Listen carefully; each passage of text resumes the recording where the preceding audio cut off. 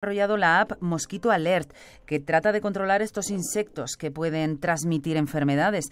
Señor Bartomeus, cuéntenos qué tipo de mosquito es el que transmite este virus, cómo es, de dónde viene, es de aquí, no lo es.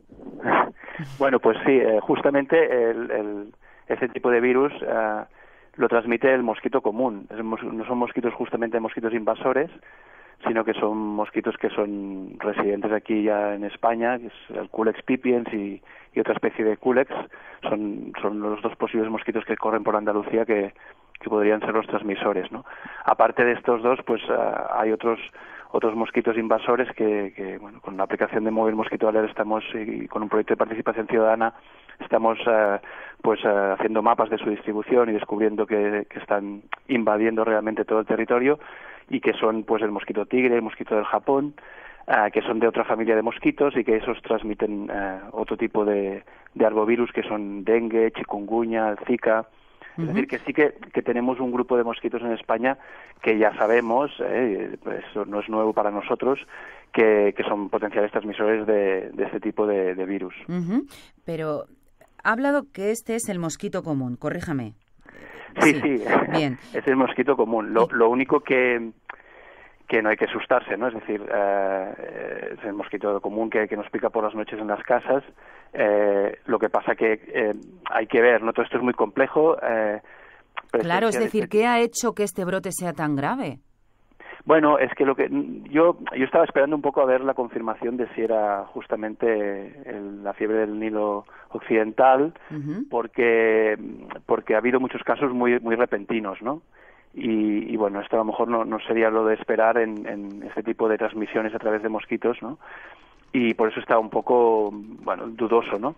Eh, son pruebas también, eh, estos tests, estos PCRs y estos tests que se hacen para, pues son complejas y a lo mejor hay que hacerlas varias veces, ¿no? Pero bueno, si, si, si ahora confirman, pues confirman, ¿no? Mm, la, la, presencia del virus uh, en, en, el sur de España se conoce eh, y es esporádica y, y, y bueno, reside en, en, en, animales, ¿no? En, aves, eh, en, caballos, por ejemplo, eh, mm, pero es muy esporádica y muy relictual y, y, lo que puede ocurrir es que un mosquito pique a estos animales y luego pues pique a una, a una persona humana. ¿Cómo ha, ha sido el proceso este de transmisión? Si efectivamente es este tipo de virus, pues se tiene que descubrir, aún no está claro, ¿no? no, uh -huh, no pero la enfermedad no es contagiosa entre personas. Eh, sí, el, el, virus se puede transmitir entre personas. El virus del Nilo, este del que hablamos, que se ha sí, confirmado. Sí, o sea, sí. Ajá, Estas ese personas se... vale, vale. que ahora infectadas no deberían estar en contacto uh, con, con, ningún tipo de mosquito. Es decir, que basta con que le pique a una. Sí, lo que pasa que, que es, un, es ir sumando probabilidades, ¿no? Es decir, basta que pique a, a, este mosquito pique a una persona, que ese virus esté en una fase determinada dentro del ciclo de esa persona y que por tanto se pueda el mosquito se lo pueda llevar y transmitirlo a otra, a otra persona. Bueno. Eh, no, no, no sabemos exactamente nada, de hecho es todo muy reciente, pero sí, sí, se puede transmitir una vez, una vez ha pasado de, de un animal, que es donde suele residir el virus, como comentaba, a una persona, se puede ir tras, uh, transmitiendo de persona a persona, ¿no? Ha habido, por ejemplo, algunos casos este año uh, en Europa, ¿no? En, en Europa está este virus, eh, y creo que ha sido en Grecia y, y en, en, Rumanía pues eh, han encontrado también animales infectados, es decir, este virus va circulando de forma muy muy recta y esporádica entre estos animales y hay estas estas posibilidades de, de transmisión a humanos. Uh -huh.